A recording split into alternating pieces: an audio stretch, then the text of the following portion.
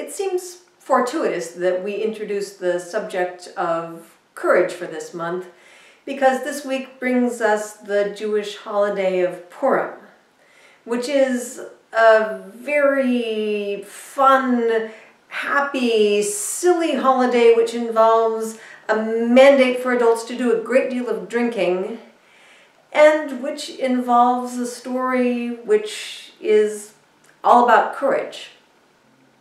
The story of Purim begins sort of before the story really gets going with the ascension of King Ahasuerus, who might or might not be the historical King Xerxes, to become leader of Persia. Now, at this time, the Jews were under the rulership of Persia. Um, and by becoming ruler of Persia, Ahasuerus became ruler of the Jews. We'll get to that in a moment. The important thing to know at the beginning is that he throws a ginormous party, huge party, goes on for 180 days, and because that's not enough, he has another week-long party in his hometown for special guests. So after all of this drinking and carousing, King Ahasuerus says to his queen Vashti, I want you to dance before my guests. Now, I do not have the cultural competency to know what exactly it meant for Vashti to dance for his guests, but I know there had been a lot of drinking for a lot of days, and what I know is the story says that Vashti refuses. And for that act of integrity and bravery, the king has her unclear, maybe exiled and maybe executed. One way or another, there is no longer a Queen Vashti. And so Ahasuerus needs a new queen. And in the logic of his advisors, he figures out what he needs to have is a beauty contest. And so he has a beauty contest for the whole nation to choose himself the loveliest possible new replacement bride. And one of those contenders is a young Jewish woman named Esther who lives with her cousin Mordecai. And Mordecai figures that it would not be a bad thing for the Jews to have a little inside at the palace, and so he sends off Esther to audition. And such is Esther's beauty that she wins. She becomes Queen Esther.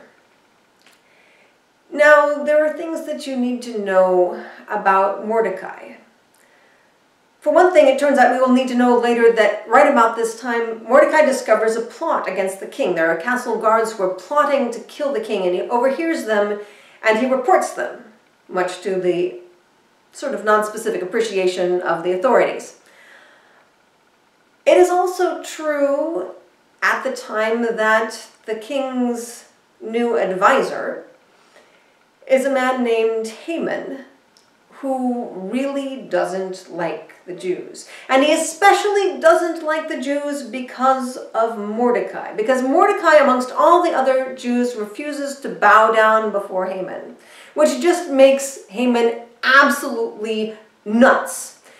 And he can't stand the Jews and he can't stand Mordecai in particular and it's gnawing at him and finally he goes to the king and he says i've got this little problem i hope you don't mind if i take care of it and the king's like yeah yeah whatever fine and so haman decides that he's going to have the jews basically eliminated i should tell you that when you tell the story on purim in a jewish community you're supposed to make so much noise when you hear the name of haman that you blot out his name so if you want to have your noisemaker and every time i say haman Bad guy. Not at all nice. Um, so Mordecai, being the in the know kind of man that he is, finds out that Haman has made this plot. He's cast lots to decide just what day it is he's going to off all the Jews, and he's decided on the 13th of Adar. And so Mordecai sends a message to Esther in the palace and says, You've got to do something about this. Our people are going to be killed. And go talk to the king. Do something. And Esther writes back and says, Ah, hello, it is a death sentence to approach the king without permission. And we all know what happened to the last queen. And I've been in the palace for 30 days now, and the king has not called me in, so I don't really think that's a good idea. And Mordecai writes back and says, Yeah, if you don't do anything, the Jews will be saved, but you and your household will perish. And who knows but what you have come to be royalty for just such a time as this. And so Esther says, okay, I want everybody to fast, I'll fast, we're going to get ready, we're going to do this thing. And so after three days of fasting, Esther screws up her nerve and she goes to approach the king very meekly and asks if she might possibly have an audience. And the king happens to be in a good mood and he raises his scepter as an indication that she may speak. And he says, What would you like? And he, she says, well, if it please your majesty, I'd very much like to invite you and your advisor Haman to a wine feast. Would that be okay? King says, sure, fine, great idea, let's do it. And so Esther gets herself ready for the feast. But before the feast ever happens, that night the king can't sleep. And so he calls one of his advisors, who presumably no longer can sleep his own self, over with his book of the record of the events of the court. And he says, read to me, this will make me fall asleep for sure. And so the king hears of how Mordecai has foiled a plot against his majesty. And he asks, has anything been done for this man? No, no, we just kind of said thank you. So he figures, well, really, Mordecai deserves some kind of a reward. And so a little while later, he sees Haman, who is coming to the king to ask for special permission to get rid of Mordecai. And the king says to Haman, What would you do for a man whom the king wishes to honor?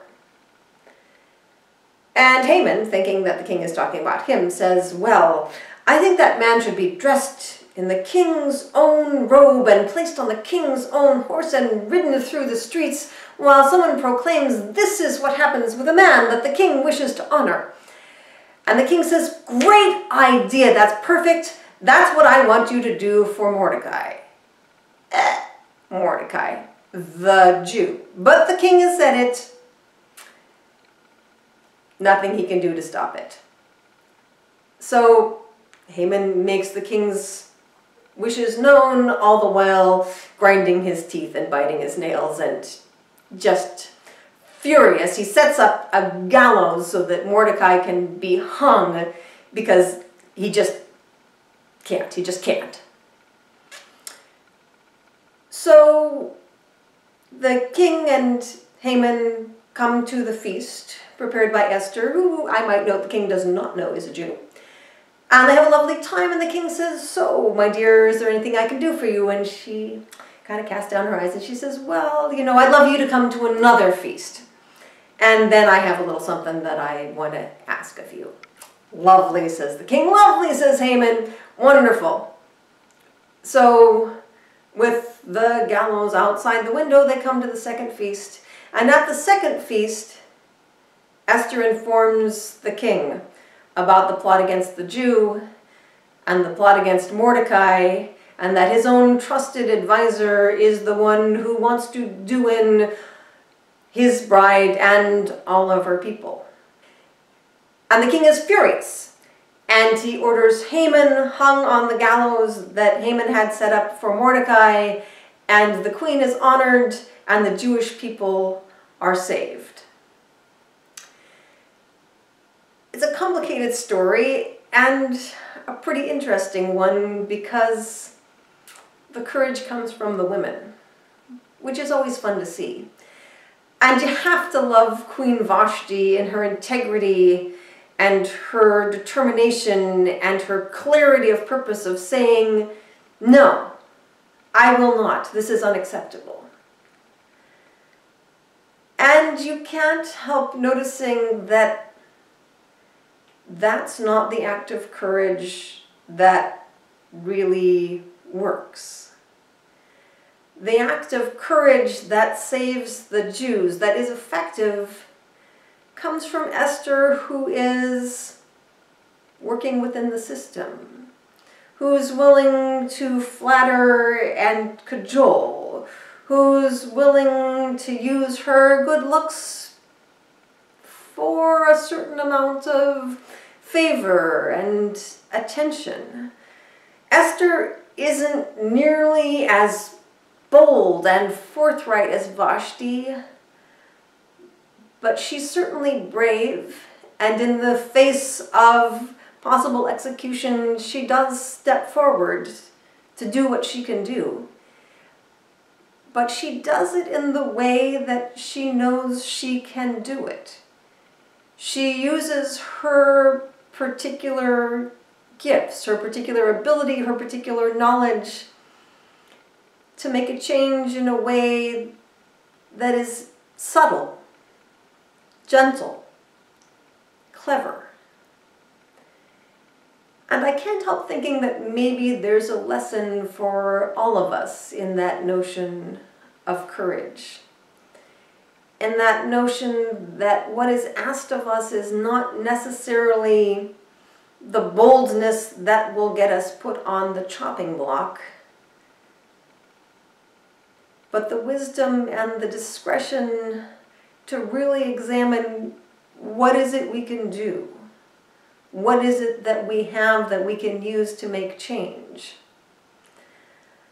I think that notion of what you can use from inside the palace is maybe a useful one for those of us who are engaged in anti-racism work, particularly for those of us who might be white and in places of privilege, and maybe are not the ones who belong in the die-ins, in the spotlights, but the ones who need to be examining what is it that I can do with my privilege to make a change? What is it that I have? The ability to be listened to by people in power, the ability to present myself as someone with a voice that they're used to listening to? What is it that I have with my education, with my ability to be articulate? What is it that I can do with my financial resources that might just be effective? And that's not to say that there isn't a place for bold and direct action. But if it happens that you are someone inside the palace, it's worth noting that perhaps you have come here for such a time as this that for each of us, whatever our station, our gifts, our abilities, there is a place for courage. There is a calling. There is a way that we can make change. A way that we can know that we are here for just such a time as this.